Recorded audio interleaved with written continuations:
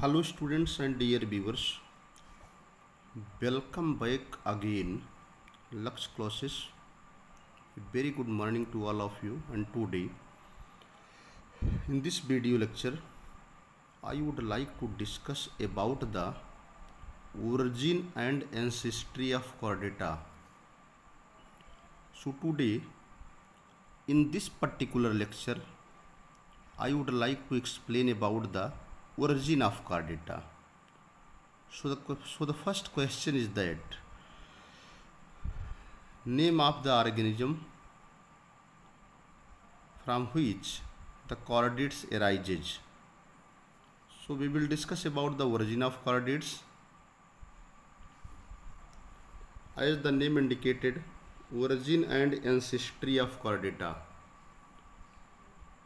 The chordates includes organism having in auto chord. Chordates ऐसे organism होते हैं, chordates ऐसे जीव होते हैं। The chordate includes chordate includes का मतलब कार्डेट के अंतर्गत। ऑर्गेनिज्म माने ऐसे जीव आते हैं हैविंग इन ओटो कार्ड। कार्डेट्स के अंतर्गत ऐसे जीव आते हैं जिनमें नोटो कार्ड पाई जाती है। ये dorsal tubular hollow nerve cord पाई जाती है। डार्सल माने पृष्ठ साइड में पाई जाने वाली ट्यूबुलर माने नलिकाकार, हालो माने खोखली, नरम माने नाड़ी, कार्ड माने डोरी या रस्सी। तो कार्डेट्स ऐसे ऑर्गेनिज्म होते हैं।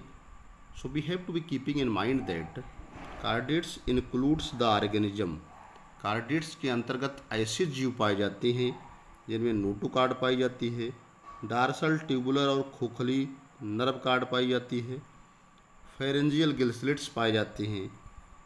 And a few feature and a few feature और कुछ और लक्षण पाए जाते हैं। सच एज माने जैसे एग्जिएट ऑर्गेनाइजेशन एग्जिएट माने होता है अक्षीय ऑर्गेनाइजेशन माने संगठन।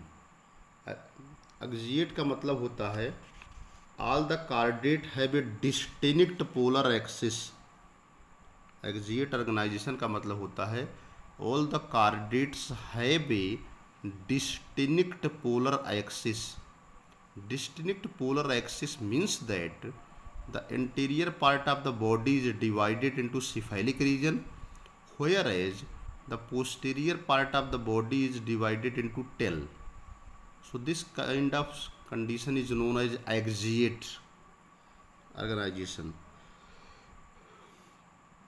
bilateral symmetry द्विपार्श्व सम्मित होते हैं अगर बॉडी को लॉन्गिट्यूडनली या वर्टिकली दो पार्ट में काट दिया जाए तो जो राइट हाफ़ है, वो एग्जैक्टली लेफ़्ट हाफ़ के बराबर होगा, या जो लेफ़्ट हाफ़ है, वो राइट हाफ़ के बराबर होगा।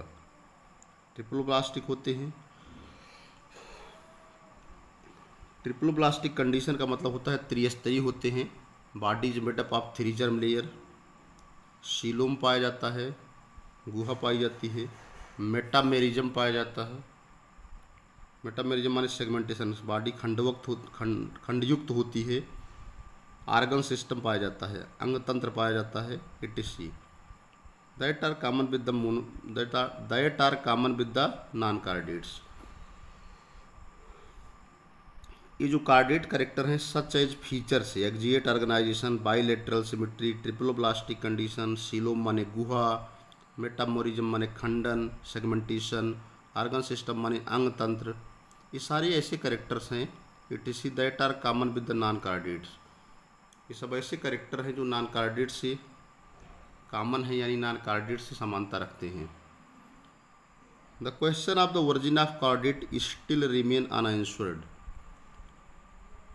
जो आज एक प्रश्न है कि कार्डिट की उत्पत्ति कहाँ से होती है स्टिल माने भी, रिमेन माने अवशेष अनआंसर्ड माने अनु, अनुत्तरित। तो आज भी कार्डेट्स की ओरिजिन कैसे होती है, इसका उत्तर आज भी, जैसे आज यह प्रश्न उठता उठता है, आज एक क्वेश्चन उठता है, कि कार्डेट्स की उत्पत्ति कैसे होती है। The question of the origin of chordate जो एक क्वेश्चन उठता है, जो एक प्रश्न उठता है कि कार्डेट्स की उत्पत्ति कैसे होती है, इसका उत्तर आज भी अनआंसर्ड है। यानी इस बात का इस प्रश्न का उत्तर आज भी मिला नहीं है। And considerable controversy exist in the on the same issue और ऐसा माना जाता है कि इस मुद्दे पर आज भी बहुत सारे विरोधाभास की स्थिति बनी हुई है और कोई एग्जैक्ट आंसर आज अवेलेबल नहीं है। Scientist have not succeeded in determining which lower form have give rise to chordates scientist जो है, जो वैज्ञानिक हैं, अभी तक यह निर्धारण करने में सफलता नहीं पाए हैं कि किस लोअर स्वरूप, किस निम्न फार्म से कार्डेट की उत्पत्ति होती है। यानी आज के डेट में जो वैज्ञानिक हैं have not succeeded scientist have not succeeded in determining which lower form have given rise to chordates वैज्ञानिक अभी तक यह सफलता नहीं पाए हैं।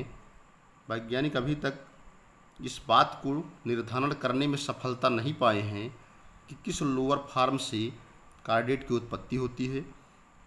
Their early ancestor must likely were soft bodied ऐसा माना जाता है कि जो कार्डेट्स के पूर्वज थे, वे अवश्य ही कोमल शरीर वाले थे।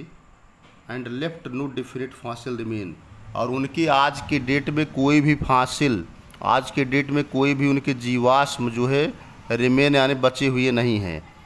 ठीक है? उनकी कोई भी फासिल आज के डेट में बचे नहीं हैं।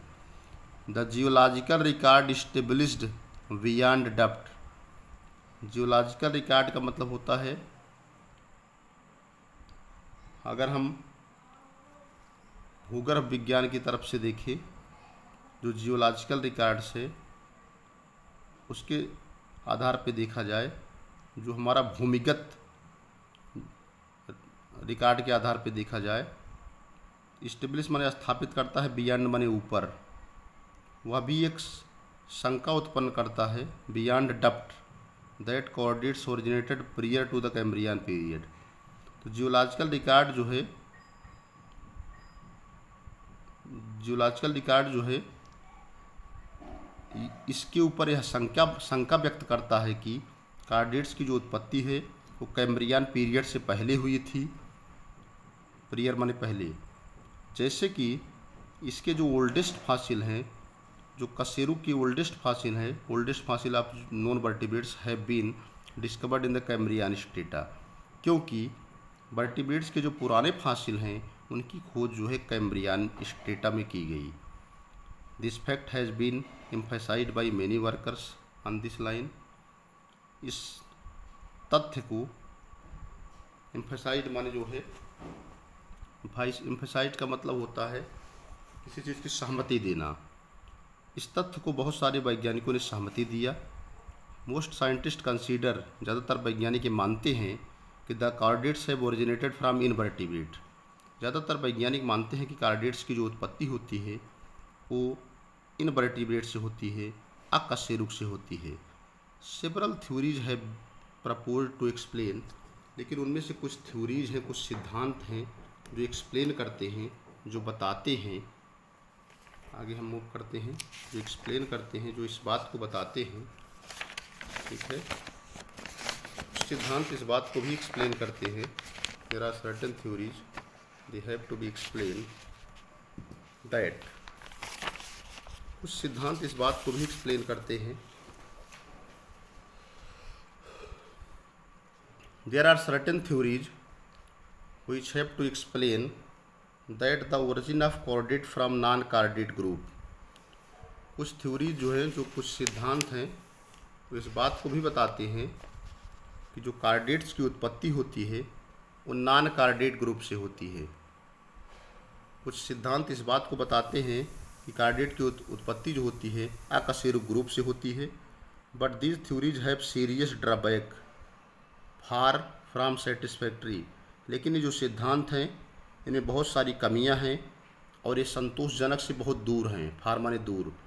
वन थ्योरी एडवोकेट्स एक थ्योरी जो है वो सलाह देती है। एक थ्योरी के अनुसार the origin of chordate from Echinodermata एक सिद्धांत के अनुसार एक सिद्धांत के अनुसार, the origin of chordate from Echinodermata, एक सिद्धांत के अनुसार जो कार्डेट्स की ओरिजिन होती है कार्डेट्स की जो उत्पत्ति होती है, वो इकाइनोडर्मिटा से होती है। ऐसा सच माने जैसे कि जो इकाइनोडर्म्स होते हैं, वो रेडियली सिमेट्रिकल होते हैं आर्य समित होती हैं, रेडियली सिमेट्रिकल एनिमल होते हैं, जितने भी इकाइनोडर्म्स के आर्गेनिज्म होते हैं, वो रेडियली सिमेट्रिकल एनिमल होते हैं आर्य सम्मित वाले जंतु होते हैं and shows no typical chordate character, उनमें कोई भी विशिष्ट कार्डेट करेक्टर नहीं पाए जाते हैं। एट देह एट माने यद्यप, they seen to be most likely closely related to the chordate यद्यप बहुत ज़्यादा कार्डेट से समानता रखते हैं। द आरी कुलेरिया लार्वा ऑफ़ इकानोडर्म का जो आरी कुलेरिया लार्वा होता है इज़ फ्री स्विमिंग स्वतंत्र होता है बाइलेटली सिमेट्रिकल लार्वा होता है। And is very closely resembles to the tornaria larva of Hemichordata और यह हेमिकार्डेटा के टर्नेरिया लार्वा से बहुत ज़्यादा समानता रखता है। But in the recent year लेकिन आज के आधुनिक काल में the ancestry of chordates from echinoderm source is not accepted लेकिन आज के डेट में, आज की तारीख में, आज के रिसेंट ईयर्स में, आधुनिक काल में, जो कार्डिट्स की एनसिस्टर हैं कार्डिट्स के जो पूर्वज हैं, ऐसा एक्सेप्ट नहीं किया जाता है या स्वीकार नहीं किया जाता है कि जो कार्डिट्स के पूर्वज हैं, वो इकानोडर्म्स रहे होंगे। या दूसरे शब्दों में कहेंगे, इकानोडर्म्स जो होते हैं, ये कार्डेट के पूर्वज हैं। ऐसा आज की तारीख में, आज की डेट में, आज के सालों में इस कथन को स्वीकार नहीं किया जाता है। मोस्ट जूलॉजिस्ट, ज़्यादातर जो भी जूलॉजिस्ट हैं, जैसे रोमर हैं, बेरी है, बेरिंगटन है, it is now favour the deuterostome line of chordate evolution. ये सारे वैज्ञानिकों ने आज के डेट में, ये सारे वैज्ञानिकों ने आज के डेट में फेवर किया। आज के डेट में इस पक्ष में हैं कि कार्डेट्स का जो उदय हुआ, कार्डेट का जो विकास हुआ, वो ड्यूट्रोस्टोम से हुआ। ड्यूट्रोस्टोम का मतलब हो deuterostome is group of organism in which the anus form first and mouth form later according to which जिसके अनुसार द फाइला इकानोडर्मिटा जिसके अनुसार फाइलम इकानोडर्मिटा का उदय हुआ। Hemichordata and Chordata shows common ancestry Hemichordata और कार्डेटा जो होते हैं, वह समान एंसिस्टी शो करते हैं। यानी हेमिकार्डेटा और कार्डेटा के जो पूर्वज हैं, वो समानता रखते हैं। On embryological and biochemical evidences.